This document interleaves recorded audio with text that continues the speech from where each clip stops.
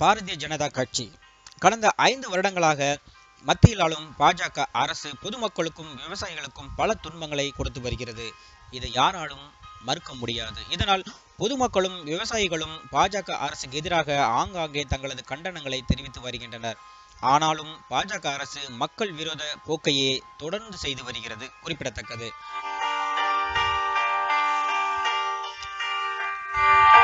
அதில் ஒன்றுதான் சென்னை டு சேலம் எட்டு வழிச்சாலை. இது முழுக்க முழுக்க மத்தியில் ஆளும் பாஜக அரசும் மாநிலத்தில் ஆளும் அதிமுக அரசும் சேர்ந்து ஒரு தனியார் நிறுவனத்திற்காக செய்து கொடுக்கும் சொம்பு தட்டும் வேலையாகும். இதனால் எடப்பாடி தலைமையிலான தமிழக அரசு பத்தாயிரம் கோடியிலான இந்த திட்டத்தை நடைமுறை நடைமுறைப்படுத்த அரசாணை வெளியிட்டது. இதற்காக சேலம் தருமபுரி காஞ்சிபுரம் உள்ளிட்ட சுமார் ஐந்து மாவட்டங்களில் உள்ள சுமார் இரண்டாயிரம் ஏக்கர் விளைநிலங்களை அரசு பொதுமக்களிடமிருந்து மிரட்டி வாங்கி வந்தது. இதனால் பொதுமக்கள் ஆத்திரமடைந்தனர் போராட்டங்களில் குதித்தனர். ஆனால் அரசாங்கமோ இதையெல்லாம் சிறிதும் கண்டுகொள்ளாமல் மதிக்காமல் தனியார் நிறுவனத்திற்காக தன்னுடைய சொம்பு தட்டி வேலையை துரிதமாக செயல்படுத்தியது. இதனை எதிர்த்த பொதுமக்களும் விவசாயிகளும் மீடியாக்காரர்களும் போலீசாரால் விரட்டியடிக்கப்பட்டனர் இதனால் மோடியும் எடப்பாடியும் ஒட்டுமொத்த தமிழர்களின் கோவ பார்வைக்கு ஆளானார்கள்.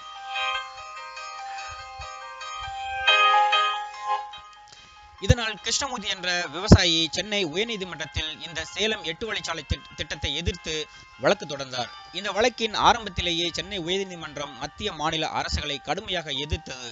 விளைநிலங்களை எல்லாம் நேர் ரோடாக போட்டுவிட்டு சாப்பாட்டிற்கு மண்ணையா தின்பீர்கள் என்று மத்திய மாநில அரசுகளை வன்மையாக கண்டித்தது. மேலும் சென்ற வாரத்தில் இந்த எட்டு வழிச்சாலை திட்டத்திற்கு நிரந்தரமாக தடை விதித்து நீதிமன்றம் தீர்ப்பளித்தது. இது மட்டுமல்லாமல் எடப்பாடி தலைமையிலான தமிழக அரசு மக்களிடமிருந்து வலுக்கட்டாயமாக மிரட்டி வாங்கிய நிலங்களை எல்லாம் மக்களிடமே திரும்ப கொடுத்துவிட வேண்டும் என்று அரசாணையிட்டது. இதனால் தமிழக மக்கள் நீதிமன்ற தீர்ப்பால் பட்டாசு வெடித்து இனிப்பு வழங்கி கொண்டாடினார்கள்.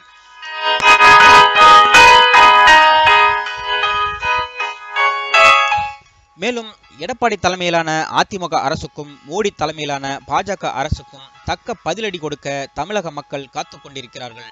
மேலும் இந்த வாரம் நடக்க இருக்கும் நாடாளுமன்ற தேர்தலில் இந்த இரு கட்சிகளையும் டெபாசிட் கூட வாங்க முடியாத அளவிற்கு தோற்கடிப்பதே தமிழக மக்களின் முக்கிய வேலையாக உள்ளது. தமிழக மக்கள் அதற்காக காத்து கொண்டிருக்கிறார்கள்.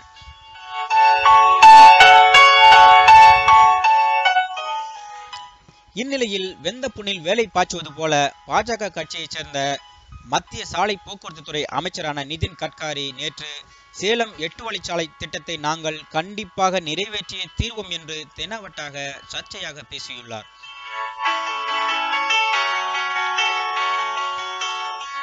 நேற்று சேலம் மாவட்டத்தில் தேர்தல் பிரச்சாரத்திற்காக வந்த அவர் இது குறித்து தனது பிரச்சாரத்தில் பேசினார்.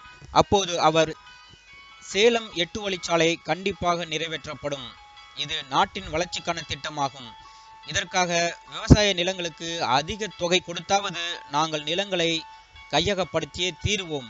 மேலும் குறிப்பிட்ட காலத்திற்குள் சென்னை டு சேலம் எட்டு வழிச்சாலை திட்டத்தை எங்களுடைய பாஜக அரசு நிச்சயம் நிறைவேற்றியே தீரும் என்று ஆணித்தரமாக பேசினார் நிதின் கட்காரி. இதனால் பொதுமக்களும் விவசாயிகளும் தற்போது கொந்தளித்துள்ளனர்.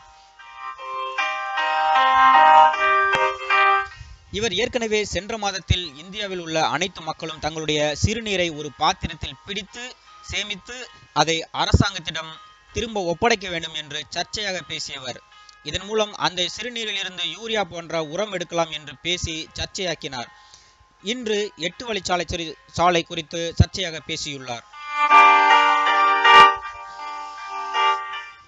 பாஜக என்றாலே சர்ச்சை பேச்சுகளும் மக்கள் விரோத செயல்களும் மத கலவரங்களும் என்றாகிவிட்டது. இவர்களை அடக்க பொதுமக்களும் விவசாயிகளும் காத்து கொண்டிருக்கிறார்கள். பார்க்கலாம் இந்த தேர்தலில் என்ன நடக்கிறது என்று.